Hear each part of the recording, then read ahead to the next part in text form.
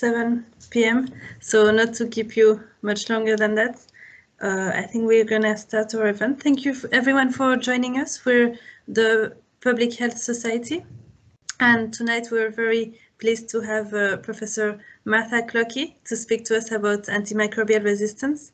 As some of you may know, uh, for the past few days and until I think the end of the week, it's the uh, Antimicrobial Resistance Awareness Week. And so we thought it would be very relevant to host a talk uh, about the topic as it is uh, one of the biggest public health challenges we'll have to face.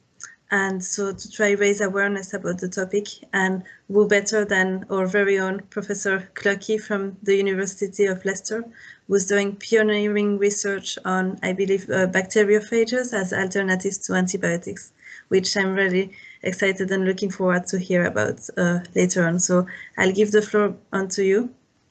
And we well, thank you very much for the invitation. It's really um, this is the perfect audience to talk to people who are about to be, make a big difference in the health profession. So I'm very happy to share with you um, my research and insights over the last couple of decades. I'm going to share my presentation with you, at least I shall try to. Okay.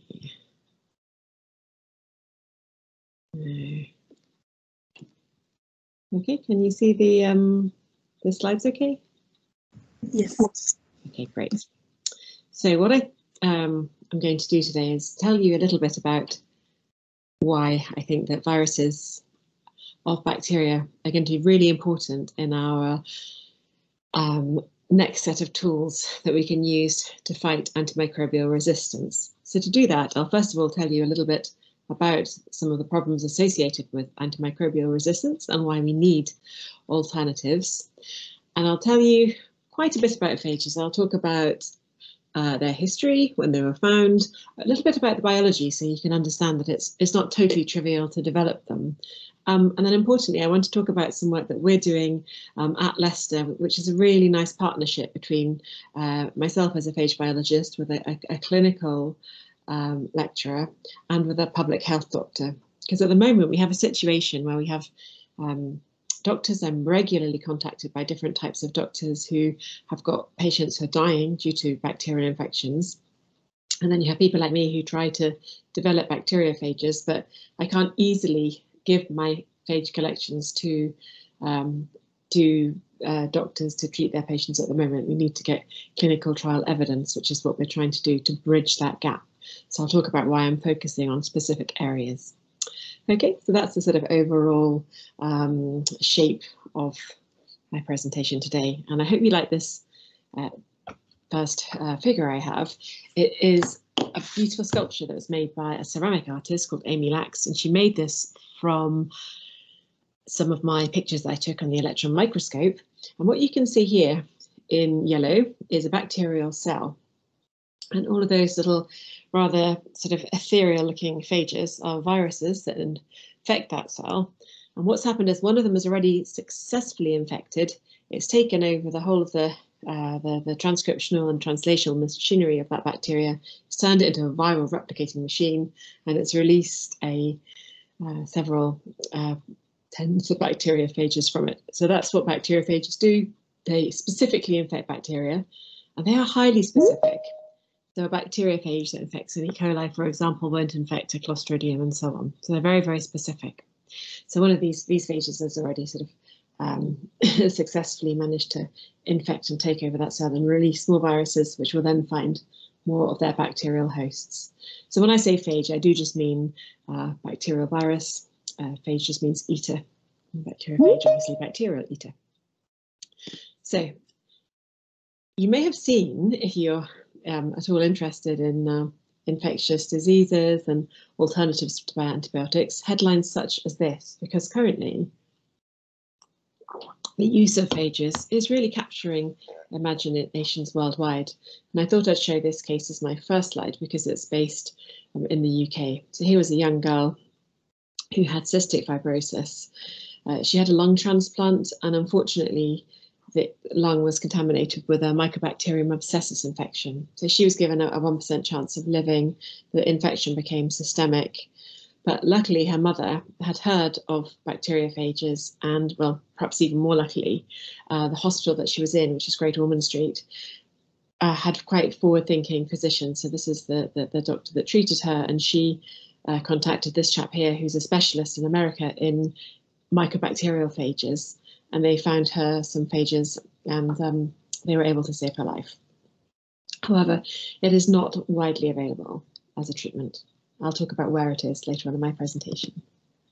So why do we need bacteriophages? Well, it's predicted that unless we do something, by 2050, there will be a staggering 10 million people dying of an antimicrobial resistant infection every year. So to put that into context, this is about, um, it's predicted that, that about 5 million people have died across the globe due to COVID infections. I'm sure it's much higher, but um, just imagine twice that number um, every year due to infections that can't be treated. We can see these are the areas that the infections are most likely to, um, or the most numerous in Africa, Southeast Asia, but it will also be highly problematic in Europe and North America, um, everywhere, really. So it's totally essential to do something. And people like uh, Sally Davis, who was the former chief government medical advisor, have been very, very active in, in really making people much more aware of, of, of this future um, sort of dire situation. Because what we have is, is it's almost a perfect storm. We know that in general, if you look at any bacteria, whether it's, here's just a, one particular graph from one particular hotel, whether it's E. coli, Klebsiella, whatever the bacteria is, we know that year by year, the amount of antibiotic resistance is getting greater and greater. So this is um, as counted by the amount of uh, strains that are not sensitive to standard antibiotics that are available to our doctors. Uh, meanwhile, we have a very few um, new drugs coming onto the market. So the anti-infective space is very unconducive for investment for biotech uh, companies and pharmaceutical companies. A lot more resource goes into uh, drugs that can be taken for more than just a week. So you have increasing resistance and decreasing amount of tools available. So what I hope to convince you today. My talk is not too doom and gloom, I don't think. I'm hoping to show you that there's another set of tools we really haven't investigated very much that I think will be useful to us if we just can figure out how to use them. So what is the relevance to patient care in, uh, in terms of not having antimicrobials? Now, there, there are many things that will happen. One is that vulnerable patients uh, in need of any type of surgery will just die from a, a an infection uh, that they pick up. So they'll perhaps get opportunistic, opportunistic infections, for example, in post-op surgical patients, they'll, they'll find that you'll find um, infections from the, the chest, uh, for example, uh, chest, gut, skin translocations. So bacteria falling in from the skin is very common. Um, uh, you can also be infected in hospitals by what's known as, you've probably heard of these escape pathogens. So these are largely gram-negative pathogens. I've listed them here. So it's Enterococcus, Staphylococcus, Klebsiella, Acinetobacter, Pseudomonas, and Enterobacter. Um, these pathogens are all um, documented as becoming more and more aggressive in terms of their ability to uh, either neutralize or um, chuck out antibiotics. So they're becoming more and um, far, far less effective. Uh, and plus, there's going to be people acquiring opportunistic infections in, in other settings. So we're using antibiotics still widely in, in humans. Um, so in, our in, in the UK, we have pretty tight um, restrictions over what antibiotics can be prescribed, and there is a big effort to try to reduce them. But this is not the same in other places. So if you go anywhere, I've been to, with my phage work, I've been all over the place to different countries where you can just buy antibiotics really easily over the counter and people just buy them all the time and don't use them correctly. So they use them sort of like half a course or something and they share it amongst the family. So you're really breeding resistance. And plus another um, aspect is we, we, we generate resistance very often in the in the food chain. So we still treat animals with antibiotics. So we build antibiotic resistance in an animal setting. And then once those bugs are, established, they travel. So if you're traveling abroad, you're probably, probably my, my microbiome is full of not very nice things. Luckily at the moment, not causing me um, any harm. But um, and but and, and also through through through the food we eat. So most of the work I'm talking to you about today is about using phages to treat humans, but I have another side of my work where I use phages to treat animals. And the idea is a sort of one health approach. We can minimize the amount of AMR we build up in our animals, so you reduce transmission into humans. We really don't want to have a world where we return back to the dark ages and we can't treat people that we need to be treated for fear of infection. So it's important to understand the sort of context that we'll be releasing phages or new other antimicrobials in, um, in order to reduce the global burden of AMR infection. And I took this figure from the um, Public Health England's guide to um, AMR monitoring. So I think what we have got now is a much better understanding um, about the relationships between health and social care, environmental contamination. We understand a lot more now about the, the, our microbiome and um, how that relates to clinical disease. But there are more studies going into all these different areas. We're also trying to understand better um, the molecular aspects of well, where, where, where are these AMR genes coming from and how are they being spread within bacteria? People are also looking at studies to try to break cycles of transmission and there's a lot of projects really to try to understand AMR. It requires very, very multidisciplinary projects between disciplinary projects between academics, uh, clinicians and industry partners. Clearly we need more trials to actually get new drugs to market as well. So it's that sort of overall general space that we're, we're bringing in new antimicrobials into this greater awareness. Okay, so why archiphagia is going to be a good part of the puzzle? Well, they're really specific. So in comparison to an antibiotic, which will generally uh, kill at least an entire species or probably many related species of bacteria, phages are, are specific to that species or even to a subspecies. So you can find phages, for example, that will just kill a certain type of E. coli. So therefore, when you use a phage treatment, you will just remove that one thing that is causing a massive problem. You won't damage the rest of the beneficial microbiota. Often people feel sick when they take antibiotics because they've killed that commensal flora or microbiota that they need. So phages are going to be useful for antibiotic resistant bacteria and also to preserve our last line antibiotics. So where they use phages, for example, in Georgia, I'm lucky enough to have been there several times, they will use phages in hospitals to treat chronic infections and they'll preserve the antibiotics for acute infections. Another really good use of phages is to treat biofilms. So often infections occur within a, a, sort of a biofilm where the bacteria secrete a really hyper gloopy surface consisting of proteins and sugars and um, DNA gets caught up in there. And it just means that antibiotics can't penetrate. So even if they're still working, they won't be able to get into that bacteria to kill the infection, whereas phages make enzymes which can indeed penetrate, so they can be useful there. Also, there are areas in the body that are fairly difficult to access with antibiotics, such as the bladder. So a phage is good because you have a self-replicating medicine at the site of infection. So our bodies are, are, used to phages as well, so we don't mount a strong immune response, particularly if they're taken um, orally or uh, topically or they're nebulized into the lungs. There's plenty of studies have now shown that we don't mount an immune response to this. And I, I think this is really important, my last point, that, that phages exist. Okay, so bacteria are 3.9 billion years old, and you can find antibiotic resistance um, actually way back. It's an, it's an old phenomenon because it's it's part of um, most antibiotics are, are, are the products of other fungi or bacteria.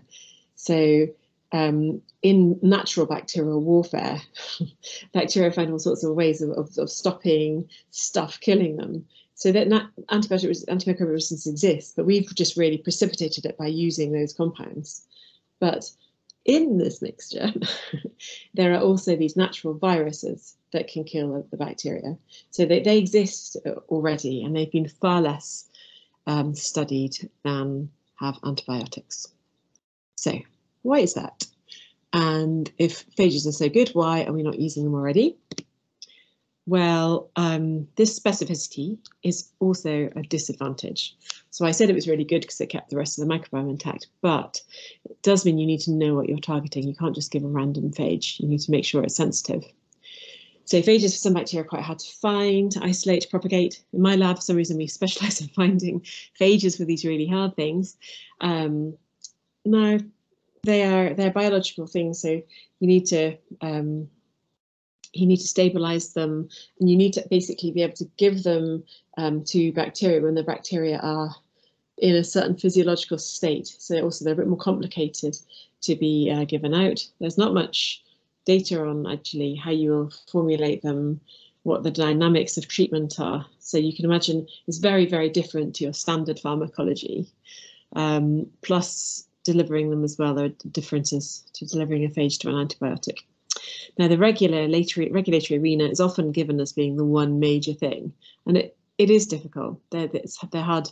The regulators um, don't really know how to regulate phages because they're so different to a standard antibiotic, but they are being really helpful and telling us what kind of data we need. So we're making progress there. So where, where did I decide to focus in my research? Well, over the last few years, I have focused on looking at the bacteria that are most commonly found as uh, causing bloodstream infections. So in the UK, I've got the numbers here, 65,000 AMR infections was seen in 2019. Um, so that was an increase from 2018. And the most common infection is E. coli, um, which is carrying is, is, is rising. Um, and AMR bloodstream infections have actually risen by a third since 2015. And um, AMR within these um, is linked to one in five people with a, with a key bloodstream infection. So half of these bloodstream infections are caused by um, actually an underlying urinary tract infection. So that is quite uh, key because what I would like to try to do with my work is try to treat these urinary tract infections. Okay, because if you want to treat a bloodstream infection, you have to use phages systemically, which will be possible, but it's even more complicated than using them um, in other ways. So what I decided to focus on with one big strand of my work was trying to reduce these bloodstream infections by treating the urinary tract infections for these reasons. Now, um, yeah, this is just showing you here um, the number of infections that's going up. You can see, so this is incidence of bloodstream infections caused by key pathogens per 100,000 population in the whole of England. So we can see it's going up in E. coli, it's going up in um, Klebsiella pneumonia. So these are the two that we focused on. So urinary tract infections themselves are a significant case of morbidity. Um, as I said, 50% of sepsis comes from them. And also there's a growing problem now. If you talk to doctors working in um, in hospitals where they're looking after elderly patients, there are, uh, particularly with catheters, it's really common for catheters to get infected, and it's largely with these two bacteria. Um, so there's a growing problem of, of AMR within these most uh, commonly found bacteria, both within E. coli and Klebsiella. So what we're trying to do is ultimately we'd like to do a, a, clinical trial on UTIs in order to treat this disease and then reduce sepsis. So I'll tell you the steps that we're going to do that. I'll come back to this, but I wanted to tell you that's where we're focusing. But now I feel I need to tell you a little bit more about phages and how they work. Now I'll do that by this rather nice video which is showing you, this demonstrates really nicely the specificity of phage and bacteria. So the, whether or not they can infect or not depends on, can you see these tail fibers coming down? So whether or not they find the right receptors depends whether it will infect. So this has found the right receptors. So now the secondary receptors are deployed. Um, and did you see there the bottom of that sheath of the phage is, is contracted um, and the, the DNA is then coming from the head of that phage through the bacterial cell wall, through this tube into the bacteria. So that's how they work. And I really like that video because it's based on about 20 years of quite hardcore uh, physical biology and biochemistry to, to, to figure out exactly how those phages are doing it.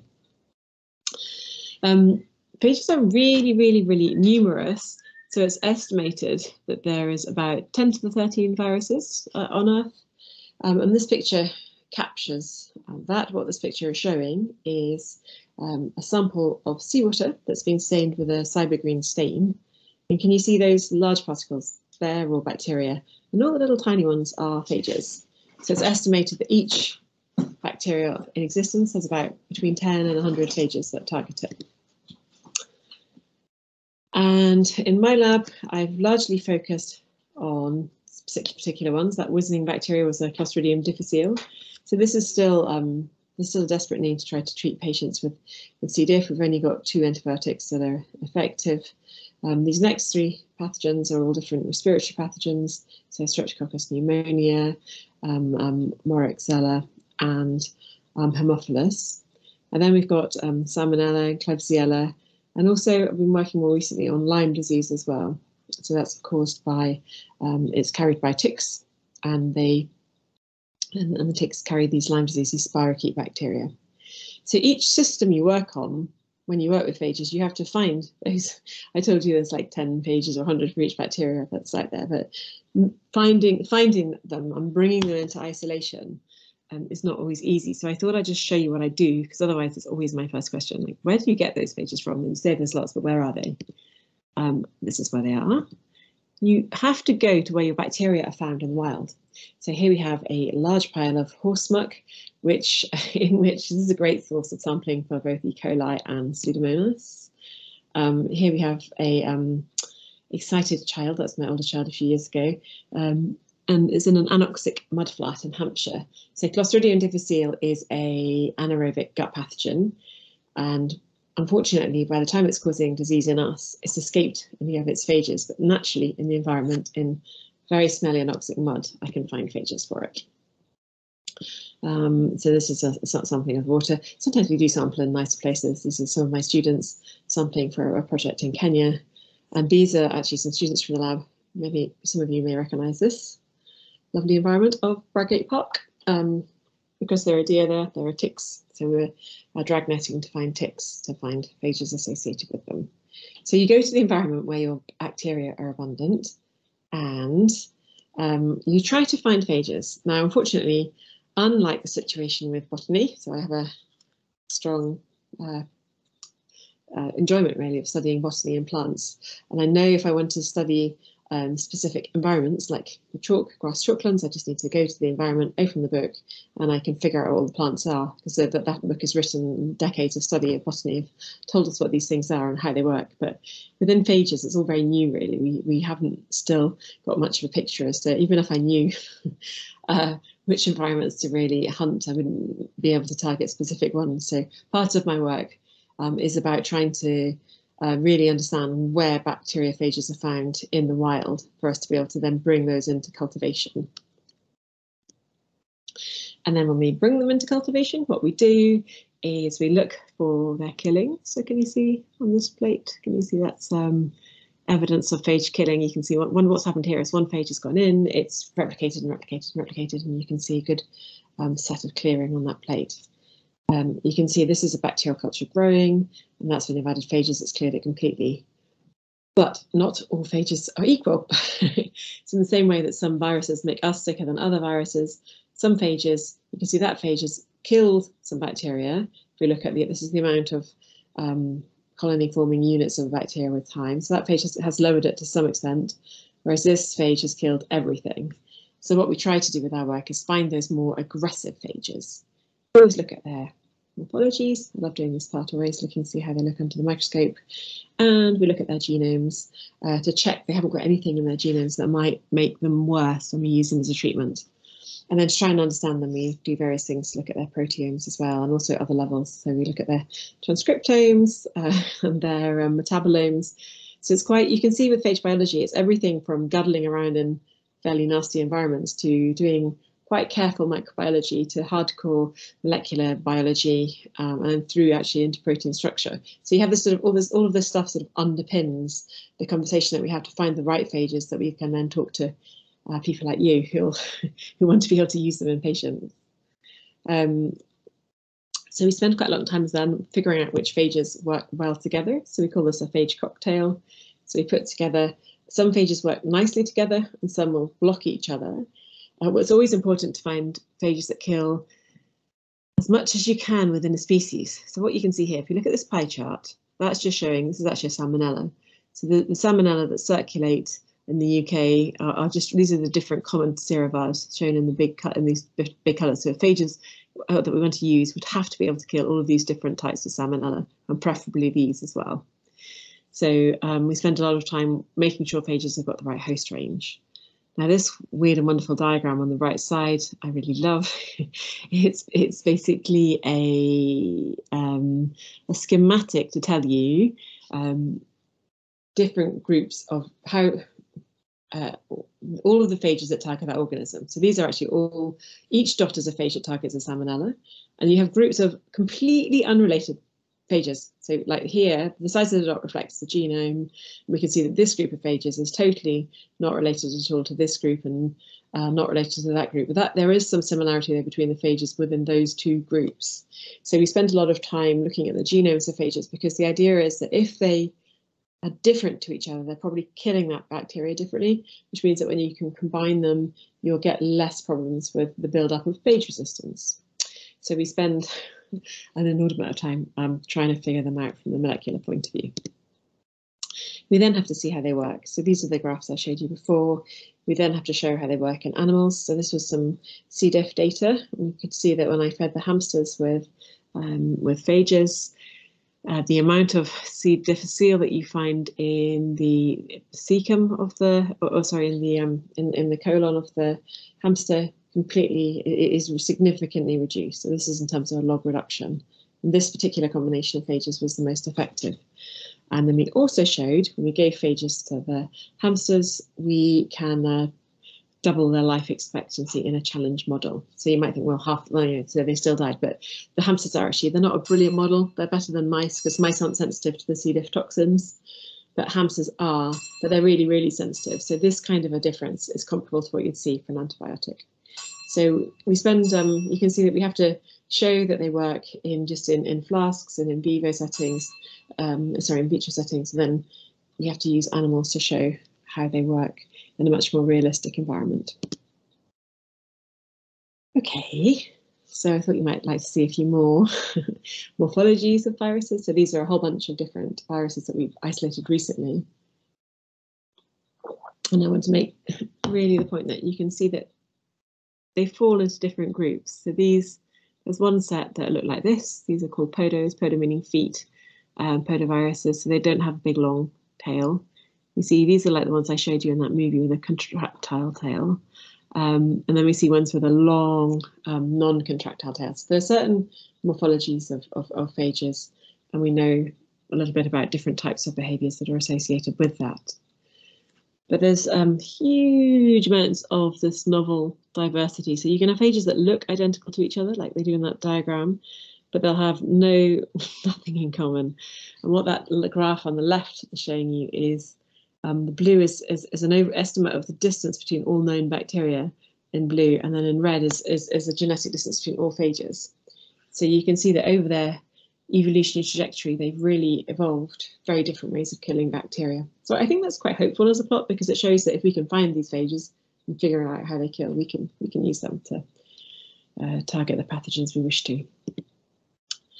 So the interest in phage therapy is growing. We can see these are all the um, papers from 1940s till a present day that mention phage therapy in them. And I've, I've seen that shift of interest myself. So I came to Leicester in 2007 and my colleagues, particularly my clinical colleagues, said, well, you know, you can study these phages and figure out that cool biology, but, you know, don't ever use them or say you want to use them.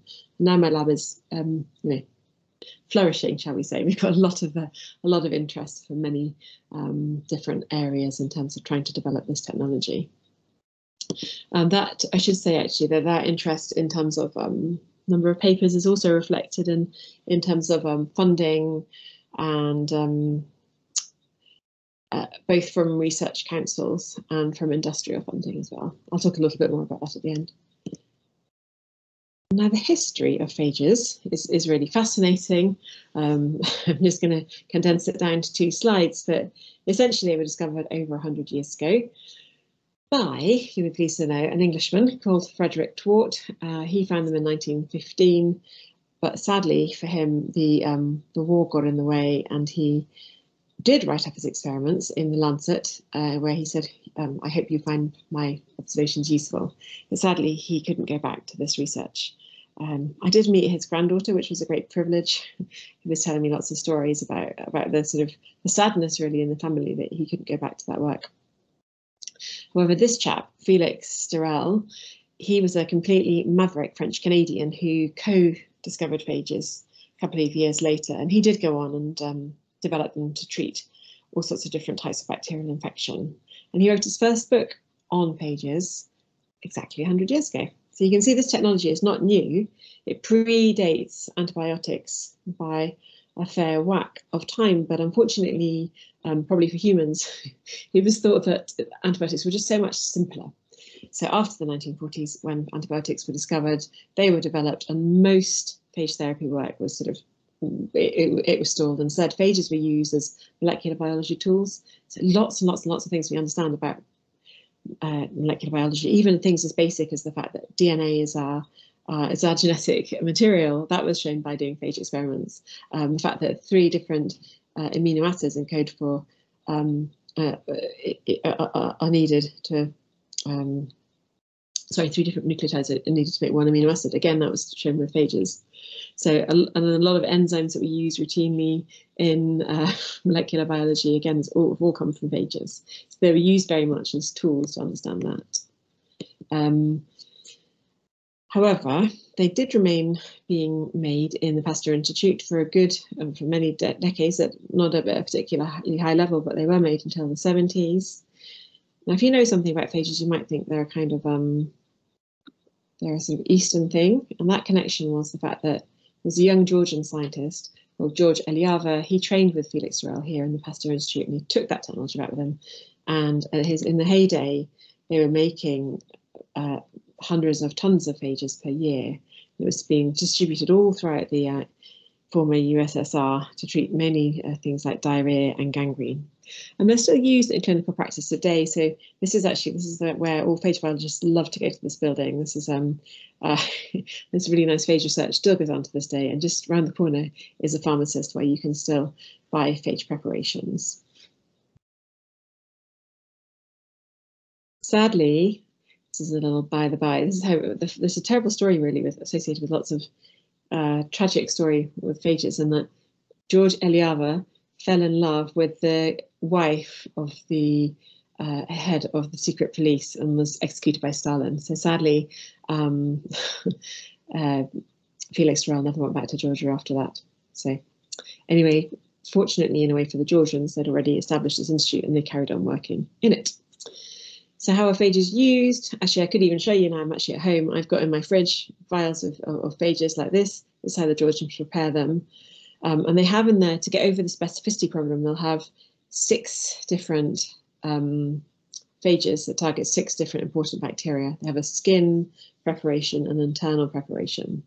So they, they're complex, really, really complex mixtures of phages and the hope that some of those phages will target that thing that you're interested in doing and then will replicate. Um, you can use them orally, topically. You can use them, can you see here, you can use them as, as dressings, um, and you can use them in association with good good surgery as well. And I've got loads of data. I don't want to go into it now, but I'll happy to take questions or talk more. If you use them prophylactically, they're really, really good. You can actually prevent infections forming. So I'll show you uh, three examples now of where phages have been used to, on, on patients. So this is now data from a, a Texan friend who is running a wound clinic I sent my cousin here actually. He had to do his he was doing his medical degree and he wanted to do something interesting for his um for his you know year where you can um like intercalated year. So he wanted to go and do something or for his elective rather. And uh, off he went to this clinic and really found it very fascinating. But this is a, a diabetic foot ulcer. Um, it's been infected by multi-drug resistant Pseudomonas. This patient was obviously was also um, clinically depressed with this horrible wound that hadn't healed for two years. you can see that with phage treatment, it formed um, epithelial, island, epithelial islands within the skin and healed up really nicely. The next case I wanted to mention was a case that became quite a well-known case in phage biology. It was a um, Canadian jazz musician who had a bone infection. And there's this, there was he sadly he died just recently, but there was a brilliant surgeon in Georgia um, who trained lots of other young surgeons uh, called Goran Gashvalia, and he um, he operated on this man, and they perfused phages around the infected uh, bone, and they were able to to treat the infection. So the infection wasn't actually resistant to antibiotics, but you just couldn't get antibiotics to it. So the phages worked well there. The final set of images I'm showing you are fairly gruesome, but they illustrate the power of using phages to um, save a limb. So when I saw, again, this is Georgian data, but when I saw it presented, the um, as an American surgeon said, you, you would not have tried to save an arm like that. But the way they used phages here was to prevent any infection. So this is a um, an arm that was uh, uh, really badly blown apart in a mine explosion. You can see the wounds, really, really horrible. But they they they um, used phages to prevent infection, and it healed up nicely in the end. Okay. So there are centres where phages can be accessed around the world. There's several in America. I work quite closely with this person in my charity. I work with a charity called Phages for Global Health, where we teach phage technology to African academics, mainly medics, vets, and food microbiologists. And we've done one four workshops now. And I work with this chap. He, but he works a lot in Yale University with someone called Jonathan Koff, and they've mainly been treating cystic fibrosis patients. They're allowed under American um, sort of regulation to, to treat patients who are um, who can't be treated. So they, they, those infections will be completely drug resistant, in which case they're allowed to use phages. And they actually use phages in a very cool way because they they use them on these antimicrobial resistant infections, but they specifically use phages that target the efflux pumps, so the pumps and the bacteria that pump out the antibiotics. So the only way for the bacteria to become resistant to the phages is to change this efflux pump, which means that they're then resensitized to the antibiotics. So I think you can see going forward, there's going to be lots of clever ways we can use phages when we understand that biology. So with what he's doing with his patients is they're using phages, which is knocking back the infection, and then finishing off the treatment back again without antibiotic treatment. And they've saved, it's not huge numbers, but they treated about 60 patients and um, saved the majority of them. And the ones that have died had, had other sort of comorbidities. Okay, so where is phage therapy today? As I said, it's used quite a lot in Georgia, Russia, Poland. There's huge amounts of um, resource now going into this technology, and there's an increasing amount of compassionate cases being uh, where it's being investigated. Um, phages have in the states the status called GRAS status, so generally recognised as safe. Um, you can buy products that have got phages in them to prevent, for example, listeria. And uh, there's an increased interest as well. In, I say in Europe and in North America, there's probably more interest in human phage therapy, although some interest in animals as well. And in Southeast Asia, there's huge amounts of interest in terms of fish farming, shellfish farming, um, aquaculture, and crops as well. So, um, especially there's you can find phages for the bacteria that cause crops to rot. So actually, you can buy um, if you buy your potatoes in Tesco or Sainsbury's uh, or Waitrose. They most likely will be covered in a in a phage spray, um, which is used just to, to instead of chlorine to stop bacteria rotting those potatoes. So we do use them in some aspects of food production already. So the question that always gets asked at the end of a phage meeting or some stage within a, a meeting is how should you use phages? Would you have them as a kind of compound pharmacy? Um, so would you respond to these infections that patients have and isolate their bacteria and therefore um, get their perfect phage combination. So the advantage of doing that is you'd have a nice fresh preparation, you'd know your phages are active and you can very specifically target that pathogen of interest. Or is it better to have a sort of off the shelf option? So very similar to how doctors use antibiotics, they can just go to the shelf and find a, you know, a specific combination of phages that they know will target that disease. So this is cheaper, they can be standardized, quality checked, regulated, and it's, say, it's easier to fit that into standard practice. So there are pros and cons of both approaches, and it always ends up in a kind of bun fight with uh, the companies that are doing one attacking or not attacking, having quite strong opinions about why what they're doing is correct. Um, so these are a few companies that are um, pursuing these off-the-shelf phages.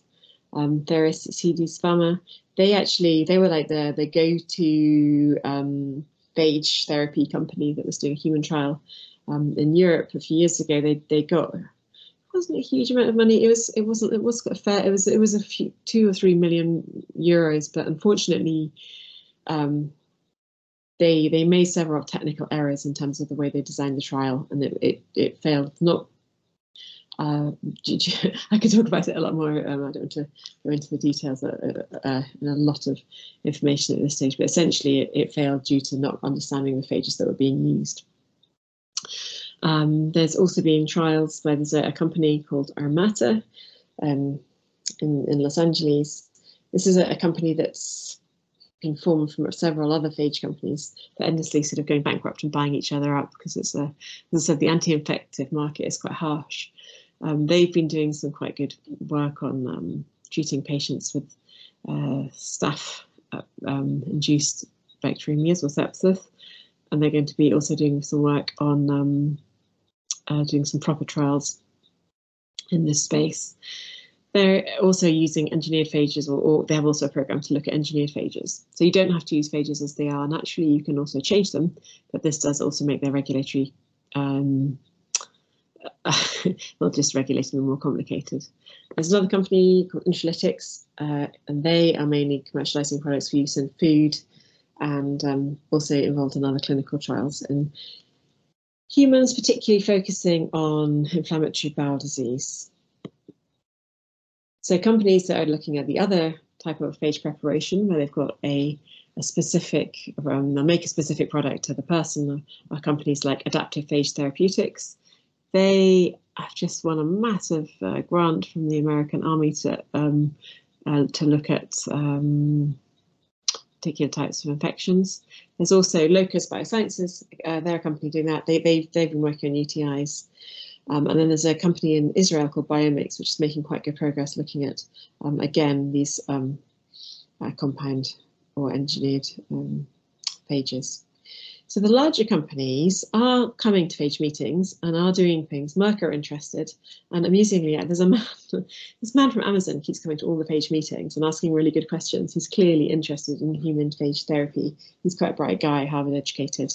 So these bigger companies are are also interested in um, in phages too. But just to finish now, I want to come back to us in Leicester and what we're doing to try to narrow this gap between um, patients trying to treat patients, uh, doctors trying to treat patients who are dying of um, antimicrobial resistant infections and my wonderful collections of phages that kill everything. So my, my current project with UTIs, I'm working with Melissa Haynes. I don't know if, if you've come across her. She did a PhD in Leicester and then she went away and did a medical degree. And then she came back. She she loved medicine, but she liked the research side of it. And so she she came back and did an um, a clinical fellowship festival and now she's got a clinical lectureship. So she's half the time in my lab and half the time actually with patients um, at mainly at the LRI, where she's advising on um, AMR and uh, uh, appropriate treatment for bacterial infections. Then I work with this woman, uh, Marie-Noëlle Vu, who is a public health doctor. Now she's um, spent an entire research career uh, or, or career really trying to fix crumbling health structures. She's currently employed by the NHS in Lambeth to figure out which are the most common infections and what's killing what. So she brings a really interesting perspective because essentially unless uh, it, unless antibiotics really aren't working, there's no real incentive to not to develop something else. So it's working with her that we realise actually um, UTIs are a really good thing to actually start on and try and get traction with because we know that they're they, are they are expensive, they cause a lot of misery. Um, so and there's really not a good alternative to antibiotics. So what we did is we found first of all um, a good set of phages and we characterised them. Um, so and that's one of the things that we've um, really the first aim of that project. So what we want to do is try to support the introduction of phage therapy into the UK. So I said, so we did, I showed you this graph already, this little pie chart. Uh, we, we found phages that can target all the different types of the bacteria we're interested in. So our bacteria come from, from uh, patients at Leicester, largely who had um, urinary tract infections, mainly the extended beta-lactamases uh, resistant strains, so they're, they're particularly problematic. So we searched for phages that can kill all the strains of interest. And then the second thing that Mel's been doing a lot of is really the sort of patient interfacing aspect of the work. So she's she's worked with um, patients with recurrent UTI, so sort of in a way test the water as to how acceptable phage therapy will be. But also working with different clinicians, both infectious disease clinicians and with those that are doing clinical trials on other um, um, methods of treating UTIs. Plus, we're looking, we're talking with other experts in phage therapies who, who are using phages routinely. So they have partners in, in Brussels and in Zurich, as well as Georgia, who are using phages. We can learn how exactly they're using them to, to apply that to our own work.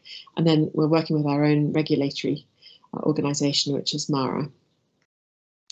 Now, the third thing that we're doing is, is doing this proof of concept model. So in order to do a clinical trial, we need to show that they're both safe and effective in, uh, in animals.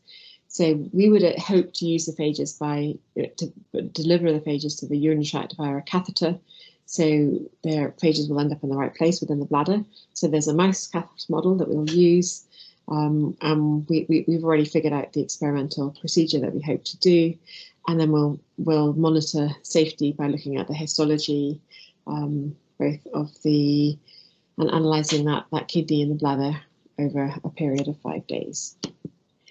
So um, following getting this data, we'll be able to have that, that uh, safety and efficacy data that will allow us to then apply to the um, NIHR to do a, a, trial. So we're also designing that at the moment. Okay, so I'm sorry it's quite late at night to have given you this long talk, but hopefully you've got, got an overall impression now on why it, this is such a problem and the area certainly that we're working on at Leicester to try to better understand and use phages. Um, it's a pretty exciting time to be studying phages. Although they don't work in the standard way as antimicrobials, we have the tools to be able to study them.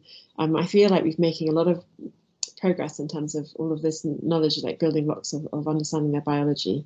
And I think going forward, it's going to be critical to work with teams of um, or, or, between fundamental scientists and clinical scientists and doctors on the front end who are, who are treating patients to be able to figure out how best to use phage products and which ones we need to prioritize the development of. So um, on the bottom you can see all the different people that have funded my research who I'd like to acknowledge and then I'd um, happily, I'd like to stop but I'll happily take any questions on any aspect of what I've spoken about tonight. So thank you for your attention. Thank you very much, uh, Professor Clokie.